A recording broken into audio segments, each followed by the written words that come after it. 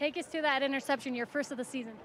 Um, you know, it's just something I practiced all week on a snag route. Uh, I saw the streak route and the corner route coming through. Uh, I just baited him, made him think I was going with the streak, and jumped the corner. What do you think of the no-fly zone so far this season? Um, I think we're holding up our end of the deal. We just need to tweak a couple of things and uh, play the ball better in the air. Virginia came in and they marched down the field. What was your guys' game plan coming into this? Um, just to stop the run and execute when the ball's in the air. What do you think of your team's performance as a whole tonight? Uh, I think we played great. Uh, there's a lot of mistakes we made, though. I definitely wouldn't say this is our best game played, but overall, it's a win, and we'll take it. What do you think of the big, biggest mistakes you made today?